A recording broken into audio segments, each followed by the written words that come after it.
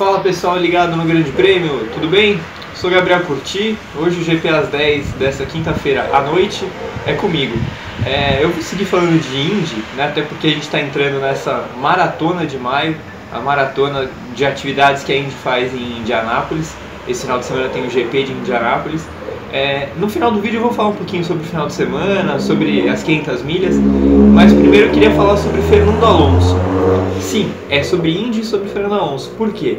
É, porque para mim está cada vez mais claro que o futuro da carreira do Alonso é na Indy. Assim, eu não estou falando que ele vai largar a McLaren no final do ano, simplesmente porque o carro não é bom, porque o projeto com a Renault é, não deu os frutos que eles estavam esperando. Eu acho que ainda não. Eu acho que o Alonso ainda vai tentar mais um pouco a Fórmula 1, mais uns dois, três anos talvez. É, tudo depende muito do relacionamento que ele tiver com o pessoal, da paciência dele é, de ficar pilotando no final do pelotão, né? Porque a gente sabe que nenhum piloto gosta de ficar brigando por 14, 13 lugar, menos ainda um bicampeão do mundo. E aí você olha as possibilidades que o Alonso tem se largar a Fórmula 1, né? Porque dificilmente ele largue a McLaren para ir para outra equipe a esse ponto da carreira, até porque é, a Mercedes já falou que não quer ele pelo passado que ele teve, especialmente na, na McLaren. A Ferrari não tem mais clima para ele também pelos anos que ele passou lá e pelo jeito que ele saiu. Então assim, é muito difícil imaginar que o Alonso vá, por exemplo, para uma Red Bull, para uma, uma Renault, enfim. Então, é, provavelmente, se ele sair da McLaren, ele vai sair da Fórmula 1. E aí você tem duas grandes possibilidades, a Indy e o WEC. É, e para mim está cada vez mais é, ficando claro de que a preferência do Alonso é pela Indy.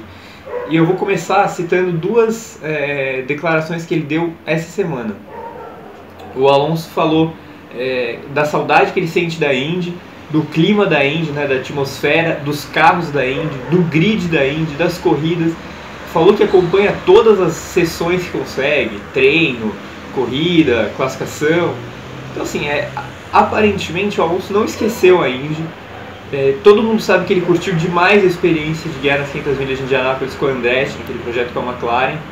Ele foi super bem, né? o Alonso chegou na fase final da classificação na Indy 500, o Alonso chegou a liderar a corrida, estava brigando por vitória até o motor Honda dele estourar. Então, assim, é... da Indy ele só tem boas lembranças, gosta de acompanhar a categoria, com certeza teria lugar no grid em qualquer equipe que ele queira, ele bateria na porta e as portas, a porta se abriria para ele.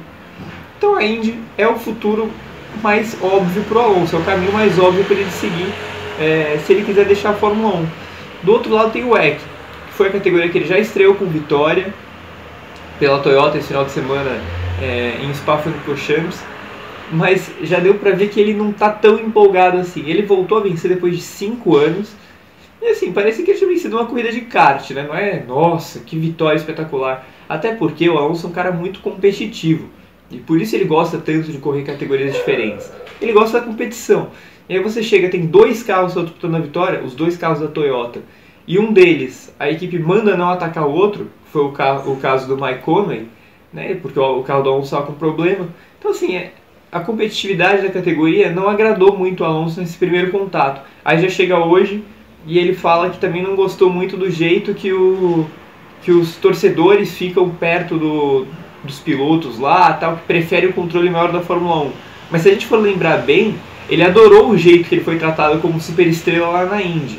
Então assim, parece que a Indy é um meio termo entre o WEC e a Fórmula 1, nesse, até nesse aspecto de relações com os torcedores que o Alonso tanto, tanto fala na Fórmula 1 e no WEC.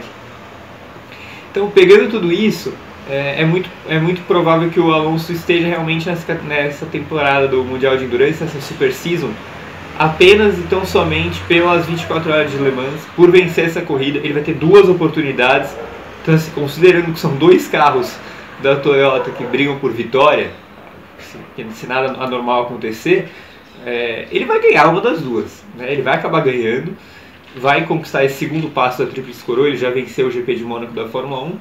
E aí, amigo, ele vai com tudo para vencer as 500 milhas de Indianápolis, que é para completar a Tríplice Coroa. Então você junta tudo, todos os fatores, o útil, o agradável, o que mais você quiser, para ligar os pontos e ver que o futuro do Alonso tem que ser a Indy. É o lugar em que ele é mais feliz, que ele gosta mais da relação com os torcedores, ele está apaixonado pelos carros novos, já falou que quer guiar o carro novo. é, os, falta de resultados na Fórmula 1, a insatisfação com muitas coisas do EC, a competitividade da Indy, a Tríplice Coroa, que talvez seja o mais importante para ele, completar essa terceira parte da Tríplice Coroa, contando que agora ele já vence as 24 horas de Le Mans, ou esse ano, ou no ano que vem. Então podemos esperar Alonso na Indy em breve, eu torço muito para isso. Falando um pouquinho do final de semana, a Dale Coyne confirmou o Zachary Clement de Mello no carro que é, seria do Pietro Fittipaldi, né, é, o 19, para o GP de Indianápolis, mas não para as 500 milhas. Muito dificilmente será o, o de Mello no carro 19 no oval, porque ele é um cara que não guia bem oval, o Coyne não tem confiança nele. O meu palpite é que seja o Tristan Vautier, mas isso a gente ainda vai, vai descobrir com o tempo. Para esse final de semana, GP de Indianápolis com Pagenot e Power dominando a história da, da prova e Rossi e Newgarden dominando a temporada. Então, tendência é que a gente tenha uma corrida bem movimentada e com alguns favoritos, aí com o Hinchcliffe e o Wiggins correndo por fora, o próprio Rei Hall, o Bourdais. Então, mais uma prova que deve ser muito legal nessa ótima temporada da Indy. Quinta-feira que vem, dia 17, eu e Rodrigo Berton estaremos embarcando para Indianápolis. Enquanto isso, Pedro Henrique Marum ocupará esse espaço com o vídeo. Valeu, abraço.